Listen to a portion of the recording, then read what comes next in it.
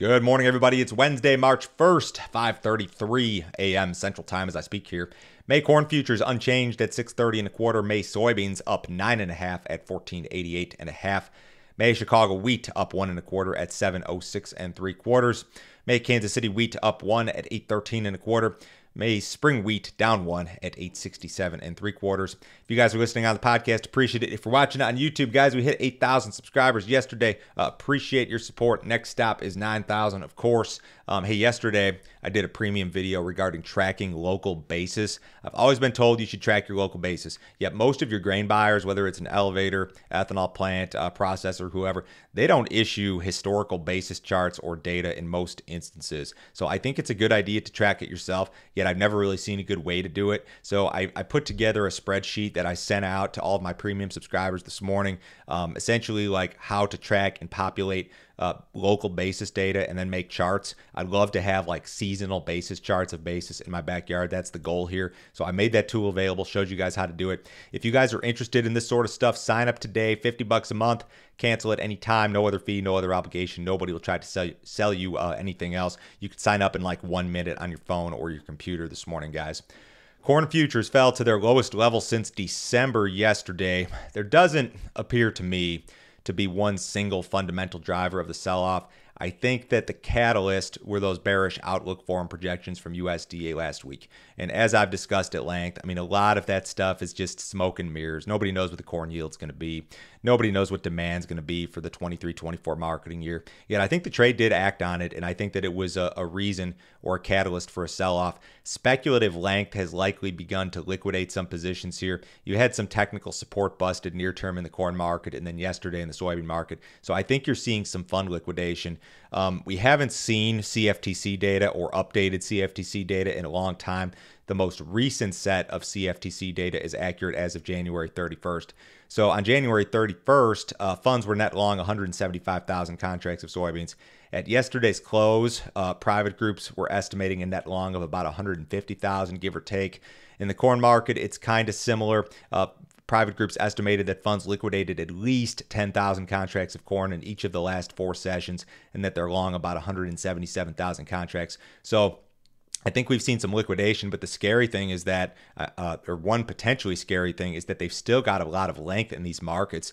We're talking a net long of 150,000 in soybeans, maybe 175, 180,000 in corn. Uh, funds probably building a large net short position in the SRW wheat market, although again, we don't know that for sure. And I don't really know when USDA's, or not USDA, CFTC, I don't know when CFTC is going to be back up to date in regard to their data. But I think it's it's fair to say that we've got some speculative uh, liquidation here among large money managers. Spring crop insurance prices are set. Uh, the DEES 23 corn contract averaged 591 per bushel during February. That's the second best spring insurance price on record behind only 2011 when it was 601. Uh, last year's corn guarantee was 590. The November 23 soybean contract averaged 1376 per bushel during February. That was the second best on record also behind only last year's 1433. So, guys, if you're a farmer and you have not talked to your crop insurance agent yet, uh, make sure you do that as soon as possible.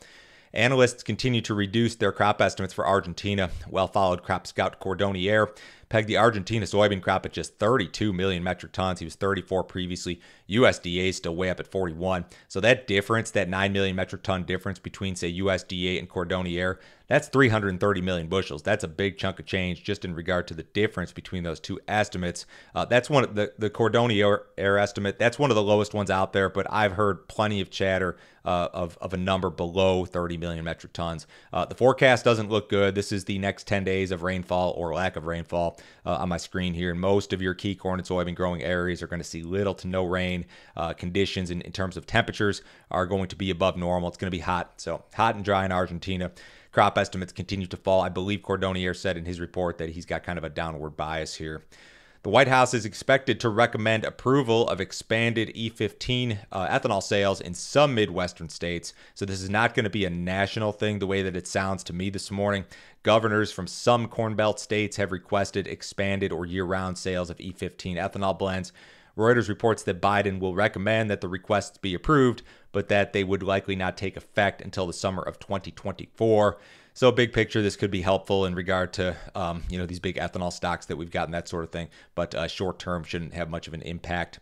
China's economy is showing signs of improvement. Uh, China's uh, PMI, Purchasing Manager Index data, rose to its highest level since 2012 um, last month. The reading of 52.6 implies expansion. The way this thing works, anything above 50 in regard to the reading implies expansion, anything below 50 implies contraction. So, gauge of manufacturing activity. Economists, of course, would point to the reopening uh, following nearly three years of COVID lockdowns as the reason for the stronger print.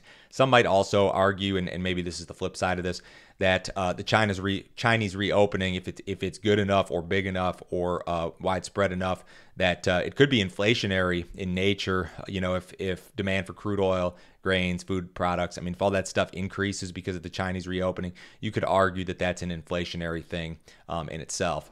Cattle market was higher yesterday. There was some cash cattle trade, uh, light volumes at 165 in the Western Corn Belt. Probably not enough to establish a trend, but the board was higher yesterday. U.S. dollar is uh, lower to sharply lower this morning. Uh, the S&P's up 13, the Dow Jones up 70. Gold's up six bucks. Crude oil down 78 cents, in the April WTI 76.27. Have a great day, guys. I'll talk to you Thursday.